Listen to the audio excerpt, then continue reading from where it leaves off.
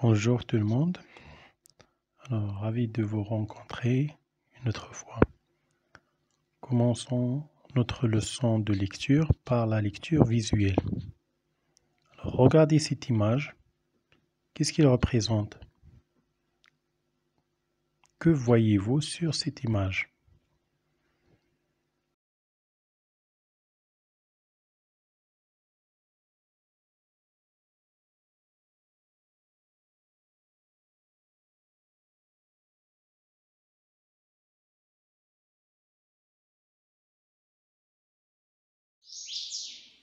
Une grand-mère au volant.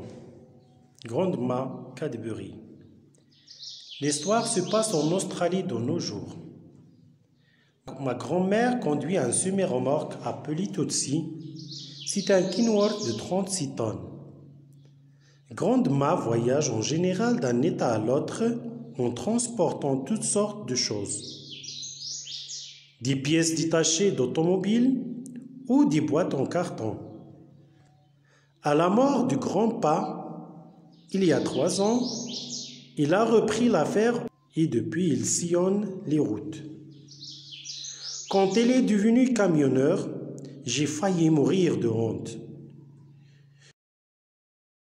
Je pensais qu'une grand-mère de 67 ans passait son temps à tricoter ou à faire du crochet, assise dans un fauteuil à bascule. Mais ce n'est pas le cas de Grande Ma. Je ne parlais de ma grand-mère à personne.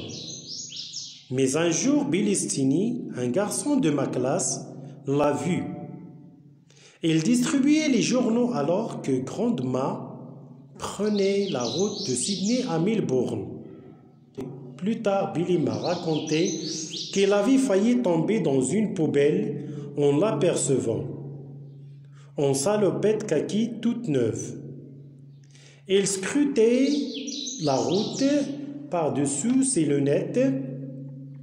Il m'a dit qu'elle ressemblait à une petite poupée dans l'immense cabine de semi-remorque. En arrivant à l'école, Billy a propagé la nouvelle. Je me suis caché derrière la remise en souhaitant mourir. Mais Sheila, Franck Bonnet, m'a découvert. Je sais pour ta grand-mère, Cadbury, m'a-t-elle dit.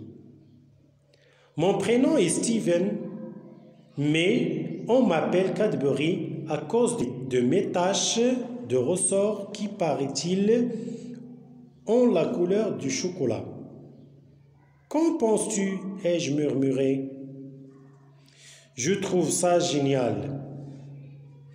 Nous, les femmes, ne voulons pas rester plantées derrière un évier toute notre vie.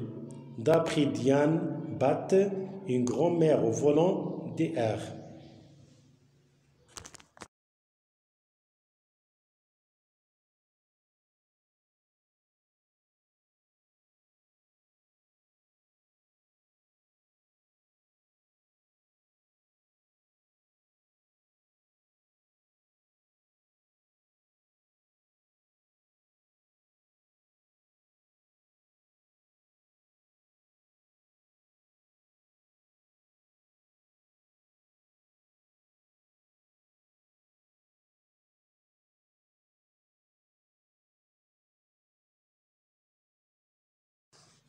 Une grand-mère au volant.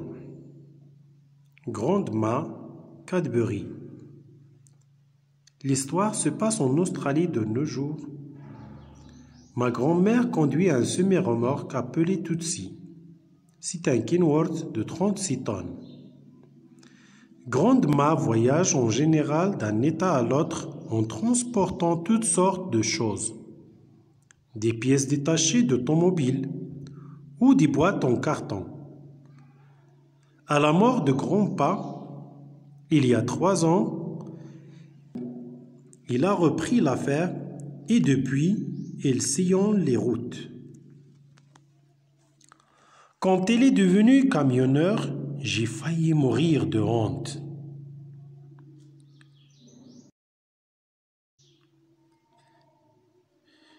Je pensais qu'une grand-mère de 67 ans passait son temps à tricoter ou à faire du crochet, assise dans un fauteuil à bascule. Mais ce n'est pas le cas de Grande Ma. Je ne parlais de ma grand-mère à personne. Mais un jour, Bellistini, un garçon de ma classe, l'a vu. Il distribuait les journaux alors que Grandma prenait la route de Sydney à Melbourne. Plus tard, Billy m'a raconté qu'il avait failli tomber dans une poubelle en l'apercevant. En salopette kaki toute neuve. Il scrutait la route par-dessous ses lunettes. Il m'a dit qu'il ressemblait à une petite poupée dans l'immense cabine de semi-remorque. En arrivant à l'école, Billy a propagé la nouvelle. Je me suis caché derrière la remise, en souhaitant mourir, mais Sheila, Franck Bonnet, m'a découvert.